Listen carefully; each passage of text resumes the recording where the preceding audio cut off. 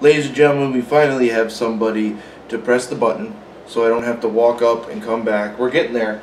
We're getting there, and that person is trying to sneak out without anybody seeing it. But we're getting there. We are getting there. Uh, this is the final episode of Puck Schmucks for the next two months, I would say about a the, month and a half, Yeah, yeah. a month and a half, just because uh, you know, with us football season starting, and um, you know, usually it's weird because hockey fans that are diehard hockey fans, some of them aren't football fans, No. and it's it, it that it blows me away. But then again, you know, I get it. You don't have to cover every fucking sport, but uh, yeah, this is the last one. We're finally down to the top ten. Um, it's going to be very different. I can already tell it will be because I'm thinking you're thinking I'm going to do something that I'm thinking that you know what I'm saying, Yeah. and it's totally off. But uh, So you don't have Malkin and Crosby at one two? no, not even close. Um, so uh, before we get into it, um, we are also sponsored by Fantasy Bros, who has a fantasy football draft kit. And if you pay attention to this channel, uh, we are going to do a live fantasy football draft, mock draft. It's not for a league, but it's just to have fun. We'll bring over a few guys. Don't know if we're going to do 10 or 12 or maybe even 8, but still, uh, Fantasy Bros gave us the materials to uh, to do the fantasy draft, which includes a fantasy football draft board along with up to date names uh, for each team, no, no, for each player and what team they play for. Um, in the description below, you are going to see a link for um, the uh, the actual fantasy football draft kit. Under the link, you're going to see a promo code. The promo code is BB Sports 15. You will get 15% off the Fantasy Bros Fantasy Football Draft Kit if you purchase it using our promo code BB Sports 15. Uh, once again, before we get to the top 10, it's the same thing every every single time, folks. Like the video, subscribe to our channel, uh, comment below on what you think. Uh, you know, this thing has gotten a couple comments, so I'm guessing we're going to get more volume once the hockey season gets closer. Uh, but still, like the video, subscribe to, to the channel, comment below, follow us on Instagram, Bigger and Brighter Sports. Uh, one word. Also, we are on Twitter. I'm at Big Tuna BBS. Brad is at Defense 12. Brad and Corey is Scooney with two, two E's on the end of it. All right, so we are at the final ten, and it honestly, I ripped, I actually ripped paper out Doing it multiple, multiple times, and I know because I thought you had yours done already. I did. You did, you had it done already because I, th- I saw it and I was like, I was like, he's, he's got it done already. Good for you. Yeah, when I when I got down to thirty through twenty one, I was like, you know what, I'm just gonna Just go gonna- through so yeah. I make sure I don't miss No, it's- anybody, so yeah. I make sure no one's you know. It's funny spot. though too because you would think you'd miss somebody, Yeah. and I did, I did, but it was just because I wrote the same guy twice. Yeah. I put him at like ten and seven, so you know. Um, so yeah, we are down to the nitty gritty here. Uh, for all you Jersey guys out here, look at these. If if you can tell me what that jersey is, and what team this is for McDavid, you will get my. I'll just say you you fucking know your shit because these are. If you're a collector of jerseys, these are what they would call gets. These are very very. Uh, to say rare. Well, yeah, maybe rare. It still didn't cost me next to nothing, you know. But still, well, no, that one did. This one cost me twenty two bucks. Um, God bless the Chinese. Um, but yeah, I mean, I would I would be impressed if you would. I'd be more impressed with that one than that one because McDavid's a Actually, really superstar. nice. It is. It is. The front. The front looks. Capital one this year. The the uh yeah no they're it's good shit yeah gonna have to get an Ovechkin one. yeah they're like I said it's like twenty three bucks, but um So we got number ten. at number ten I have uh Auston Matthews. It's disrespectful. Well, it's it's just because I let me tell you something. I love the way Auston Matthews played. I believe his rookie year was better than this year, Mhm. but overall he had what thirty four goals, twenty nine Yep, assists sixty three points for 60 a twenty year old kid. for a 20-year-old, Is he twenty or 20, nineteen? he's 20 now. He's 20 now, okay. Um, and his career, I mean, he's only had 144 games, it's not even two seasons. 74 goals, 58 assists, 132 points, but that's where I don't like that. More goals More and goals than assists. yeah. Just because that, and more as well as if you're a center, you also have to focus on defense. And I'm not saying he doesn't, I don't watch his team enough to know, but I just got a feeling that he's more worried about scoring than. Uh, you know, than helping out the defense. And I think that's why they brought in Tavares. The Yeah. more and more I looked at it. I got you. I agree with you there. Uh, my number 10, I had Steven Stamkos, captain of the Lightning for the last, you know, like 10 years. Actually, he hasn't been the captain that long, but he really has been. It's like six. He's been like yeah. part of, of that team Oh, yeah. like, No, 10, yeah. 10, 12 years. Um, great year again 27 goals, 59 assists, 89 points, 664 career games. He has 668 points.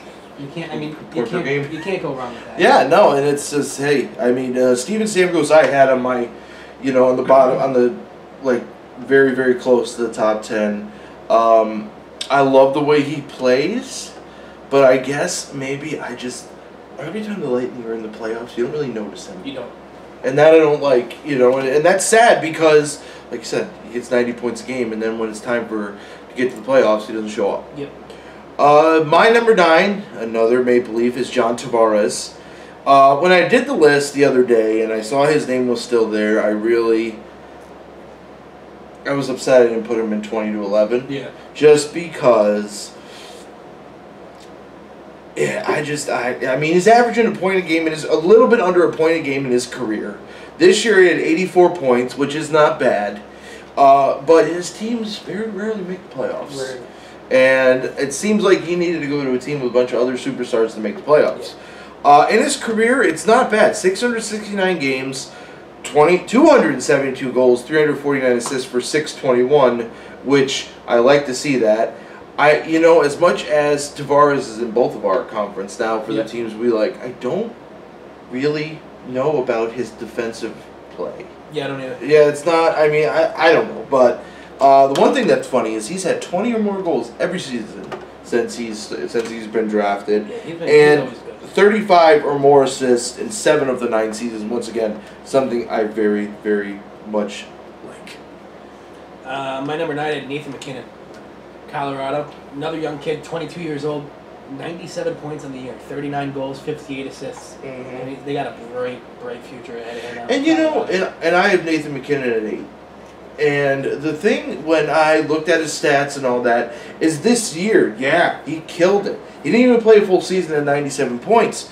But if you look at his priors, he, uh, yeah, I bet you the fans were very happy to see that finally. Yeah. Because he did not have this is what they've expected from him. yeah, but in here, uh, 374 goals, 374 games played, 115 goals and 188 assists. That is in. Now I based it a lot on this season, Right. which it should be like that.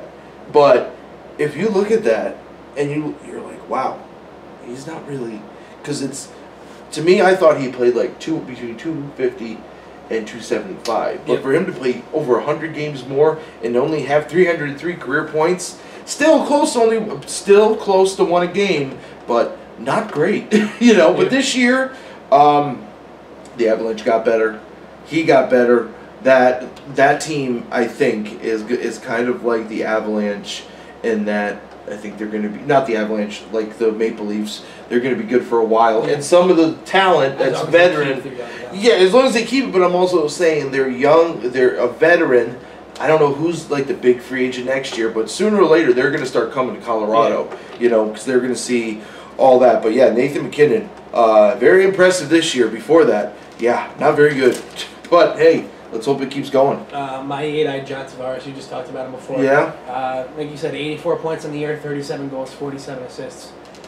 He's, you know, he's good offensively. Yeah. We don't know what he does on defense. We haven't really watched that much. And you know that's that's the worst part is because it, it's like you know I've noticed as we keep doing this and we keep doing the channel is that we do watch more than just the goal scoring yeah, and all that stuff. And that's what is funny because now it's like I'll watch a game and I'm not watching the game. I'm watching for everything else. Yeah. and when the goals happen you can watch the replay. And the the thing with John Tavares and I've said it to you the thing with John Tavares is that he has made it to the playoffs I think once. Uh, no twice. I'm sorry twice because he played uh, against the Penguins one year. And they did make it to the second round. But they made it the second round when they beat that when John Tavares had that unbelievable wraparound goal in Yeah. Luongo. And by the way, that's a Luongo jersey when he won the two, when he won the 2010 Olympics. But um, I don't know. I just I just don't. He gets a lot of praise and he's got some good stats, but it, it's I, I I'm the kind of guy who always looks at the championships more than anything else, I agree. and I think that's why. Um, like a person like Ovechkin has jumped up even more than he already was because he was a big part of the reason why they won a championship. So, it, what about this? What if they win a Stanley Cup this year? The Maple Leafs. Does he go up or down for you? Let's say he has the same kind of season. Uh, you know, 80 to 90 points, and they win a Stanley Cup. Would you put him above the people that you have him now? Um, It's a tough question, right? no, no, I wouldn't. Yeah. I mean, there's really, unless he had an even better year than he had this year. I mean, 84 points is a great year, Yeah. but there's guys dropping 95, 100, 110 points. Yeah, I mean, we had. So to, you know, to put a guy with 84 points above those guys is kind of you know crazy. Man. Claude, well, no, who was it? Was Claude Giroux had more points than him, right? He had like- yeah, he had like 102 or something. Yeah, and it's just, it's no. Wait, let me see. So I think he, I think you're right. He did have 102. 102, yeah. 102 Yeah, points. but he didn't win the points race. No. McDavid did. Yep. Um, but still, uh, you know, I'm looking at mine too, and I think he would drop in mine because I would put Auston Matthews ahead of him. You know, if Auston Matthews had a good season. Granted, uh, you know, as like like I've said numerous times, looking at the Toronto Maple Leafs roster, Mike Babcock doesn't have work to do, but he's got an interesting setup Yeah. there, and good for him because it's like playing NHL 2017. You got you got a fucking Yes, huge roster. Uh, my number seven is Taylor Hall. And that that was one of the biggest, besides Nicholas Backstrom, Yeah. this was the biggest mover for me. Um, I think the reason that he is as good as he is now is because he's at a team that believes in him. I really think that the New Jersey Devils are the kind of team that needed a superstar after Kovalchuk left, and now it's time for Taylor Hall to be who he is.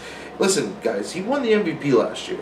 That that's that's a huge, uh, not much of a huge thing, but he goes from being kind of, I don't want to say like uh, you know deported from uh, Edmonton, but it kind of seems like that, and it's even better because any because the G- Devils made the playoffs and the Edmonton Oilers were like the worst team in the league. Yep. Um, so this season, 76 games, 39 goals, 54 assists, 93 points. In his career, he has played in 529 games, 191 goals, 283 assists, 474 points. He has had six seasons with 20 or more goals and six seasons with 25 or more assists. Not great numbers, but you have to remember that the Edmonton Oilers were the worst team in the league all of but last year. Yeah, last year was the only time they were good, folks. I'm not being mean. They had like six number one picks, but I just think the change of venue uh, really helped Taylor Hall. I just hope it doesn't get to his head Yeah. and he turns into a prima donna because that does scare me sometimes with guys that just you know what I'm saying. Who's your number seven? Uh, my number seven, I have Evgeny Malkin, yeah, who to me is the most consistent Pittsburgh Penguin. yeah. Um, I mean, his stats are unreal. insane. 42 goals, 56 assists, Yeah. 98 points. In his career, 784 goal or 784 games, games, played yep. with 930 points. I mean, that's a lot of points. Yeah, he's not that far behind. Well, he's he's about 200 away from both Crosby and. He is. He's also 80 something games behind Crosby and Ovechkin. Is he really? Um, actually, Malkin has 780. Oh, okay, yeah, you're Crosby right. has 860, and, and actually, um, Ovechkin has 1,000 games played right now.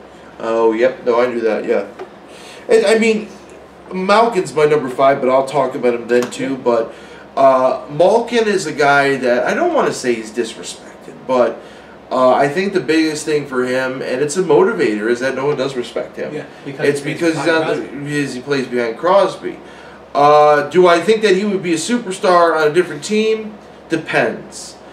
Uh, because I don't think he's like an Ovechkin. He doesn't have that overwhelming shot, but he is a playmaker. I mean, most of the time he has more uh, goals than assists. And you know, I mean, his career, like you said, he, I think he's a Hall of Famer. He's won three Stanley Cups. There's no way. I don't think there's any way they would keep him out of it. No. But I was nervous after they did the NHL Top 100 right now overall, and he wasn't in there. And Ovechkin was, and I believe someone else was, and people were like, "Holy shit!"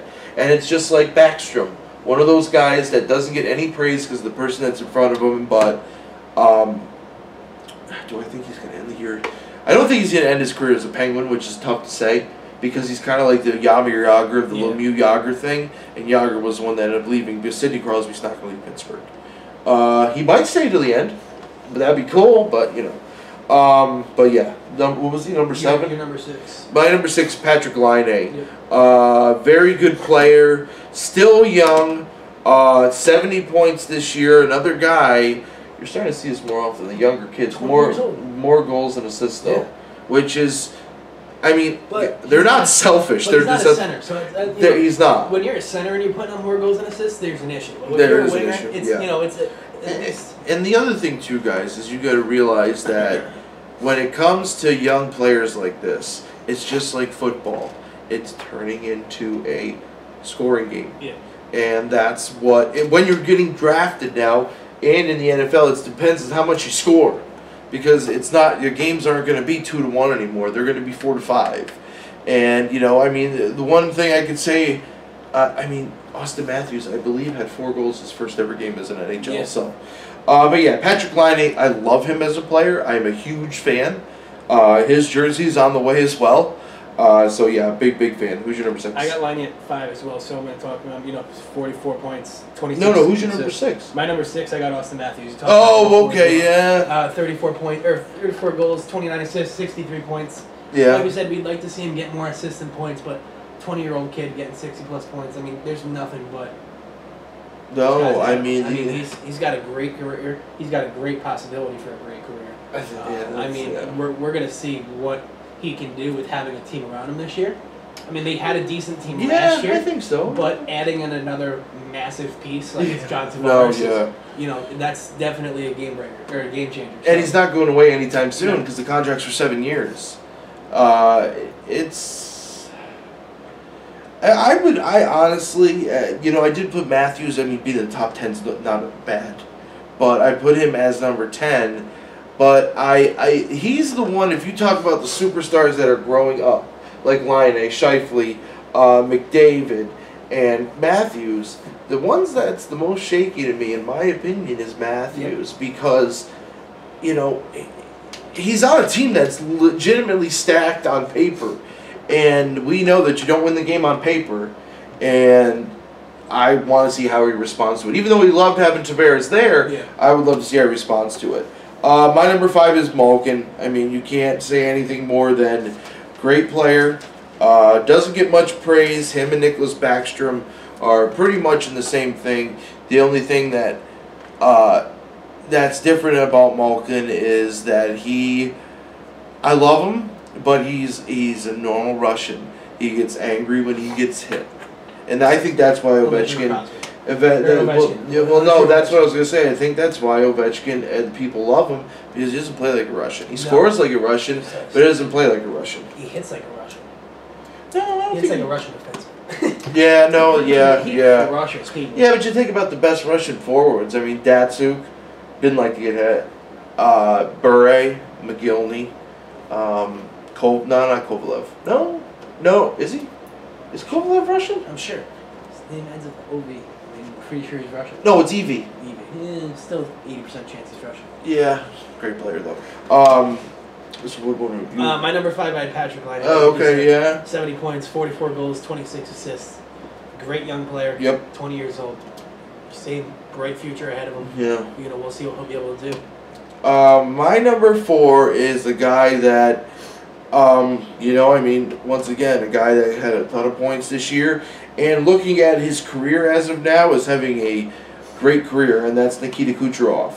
Uh, 80 games played, 39 goals, 61 assists for 100 points, and in his career, 365 games, 147 goals, 187 assists for 334 points.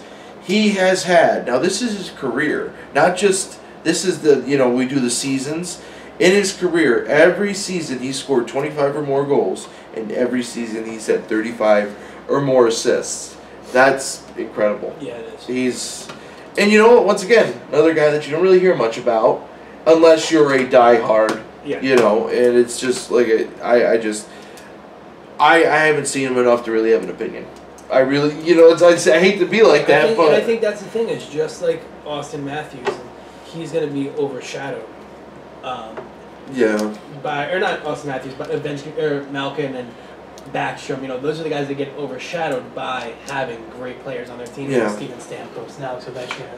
Uh, Yeah, I mean, you, you know, know, Sidney Crosby. Like it's tough when you're like it's great being that number two guy. yeah. But you are not getting the praise that you should be.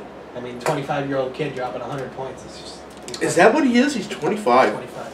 See, I thought he was a lot younger, only because he's only played four years in the a NHL, take a little longer. Yeah.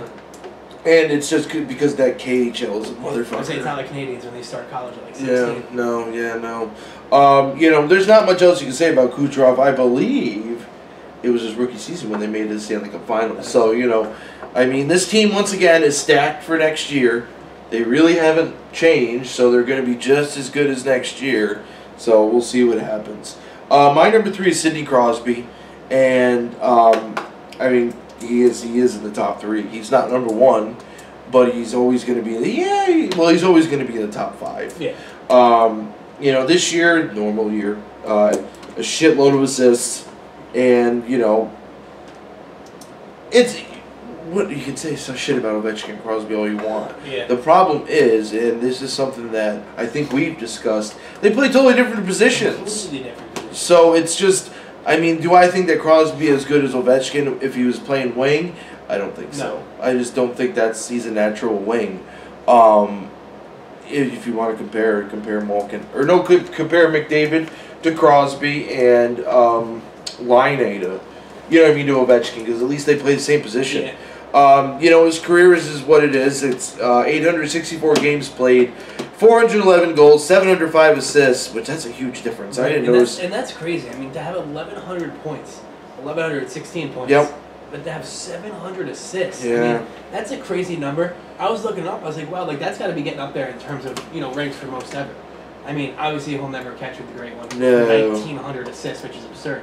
But, he, disgusting, but second place is like 1,250, and I can see Crosby getting there if he plays another six, seven years. I mean, he's averaging 50 to I'm 60 trying to assists. because he's my age. Right? If he's averaging Yeah. 50 to 60 assists per year, he's still gonna. he's I also wouldn't be surprised if he retired at 36. I What the wouldn't fuck else does he have to I mean, he's only 31 right now. Yeah, so he's what else not- does he he's have still to got another prove? Five, six years ahead. of I him. just don't want, you know, and, and, and I'm not I'm not saying anything bad about Gretzky or Lemieux or Gordie Howe, but once they hit that age, some age, they're not as good Yeah. anymore, No, no. and they're used for something else other than uh, being the all the time center that Yeah. goes out there. But then again, you know, just like Ovechkin, they're all world players. They they're gonna score. It's just how much as they get, um, you know, as they get younger. Who's your number three? Uh, my third was Crosby, as Crosby, well. yeah. Um, my only issue with- him this year was he just he didn't score that much.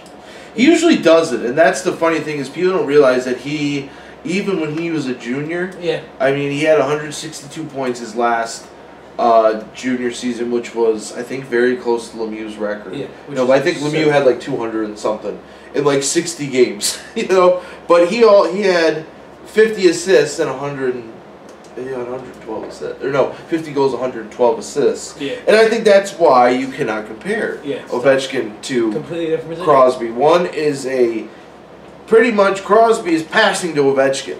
You know what I'm saying? It's different because Crosby a precision passer and a precision shooter. That's what it is, and you know, and, and you know, I mean, there was a point in his career that the coaches were like, "We want you to shoot more," and he did, and he was still Crosby, but he wasn't really. You know what I'm saying? And it's just he had he's had his 50 goal seasons like Ovechkin has had, but it's just you can see in the difference of points from goals to assists. It's 300 different, you know. So I mean, he's at Yeah, it's 11 funny because Ovechkin's the exact opposite. opposite yeah and and that's but like with crosby he's had 11 25 plus goal seasons which isn't bad um, and then 10 40 plus goal seasons for assist seasons which honestly i thought it was a little bit more but i but i also started a low number and go up Yeah. because he's also had 41 in one season then 82 in another you know Who so got it number two?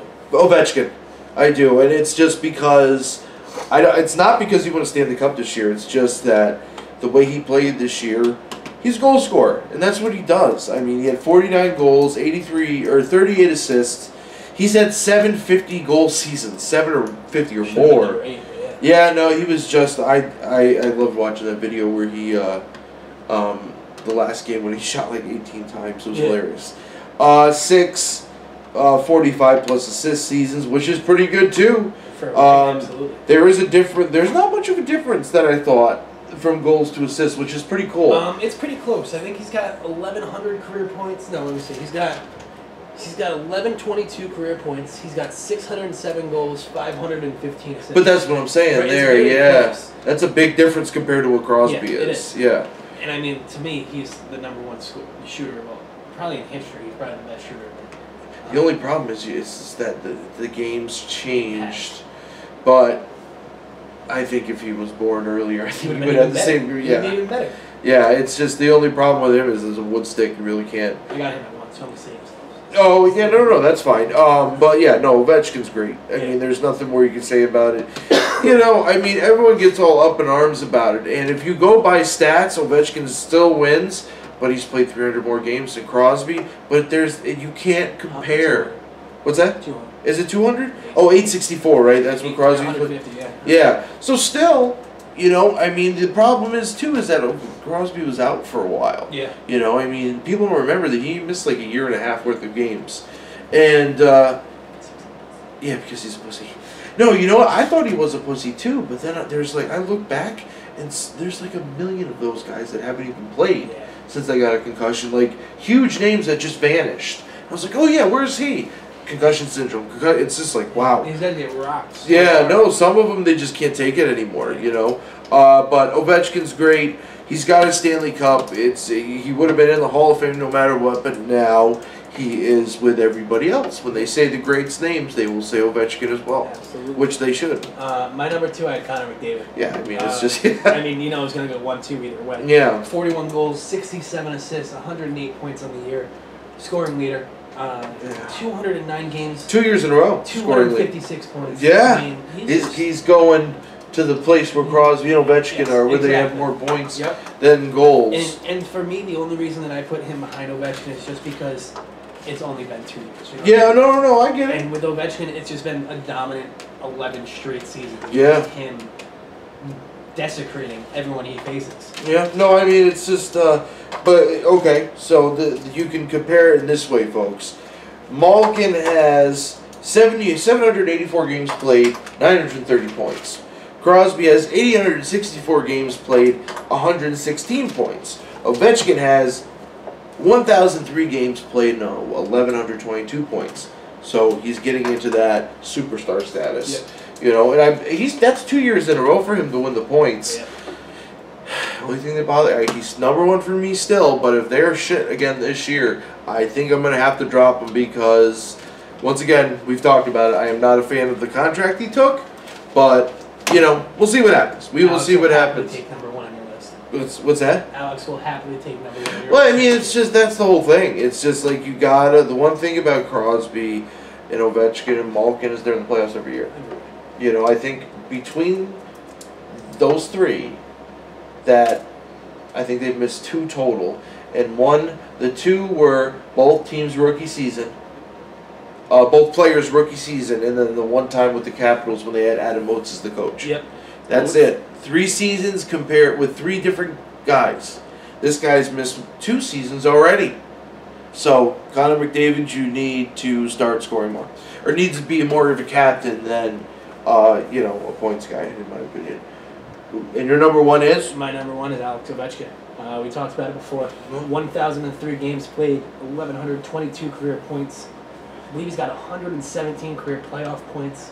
something like that. Yeah. 607 goals. I think he's all. I think he also is averaging over a point a uh, game. it's 120 games, 117 goals. So he's literally right at the one. Oh, okay, yeah. One game mark. Because he's right at the cusp of because like they show that every time like Gretzky's crazy point per game with the playoffs, but like uh Lemieux, Crosby, they're all in the same spot, you know, of how many points per game. Um listen, Alex Ovechkin's the it thing right now. I mean, the last three seasons, the NHL has been very happy. Their superstars have won a Stanley Cup the last three seasons, which probably has had an up in uh, ratings. Maybe I don't know. I think Alex Ovechkin actually did help being in the being in the playoffs and doing the Stanley Cup run he did. Anything else you want to say about him?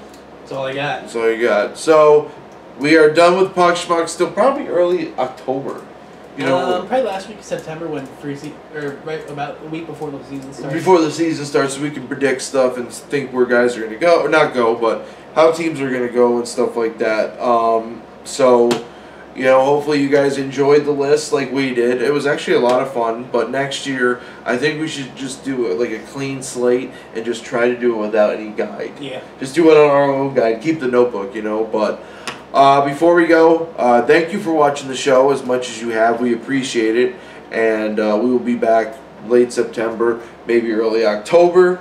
Um, like the video, subscribe to the channel. Uh, look out for other stuff that's coming up, uh, fantasy football and gambling wise, because you know, I mean, as much as hockey fans don't like it, it is football season, folks. Uh, but subscribe, like, comment, follow us on Instagram at Bigger and Bradder Sports. We're also on Twitter. I am at Big Tuna BBS. Bradder is at Defense 12. Brad and Corey is. Two weeks. Buy the draft kit too in the description. BB Sports 15. I gotta get up to that. Puck Schmucks out.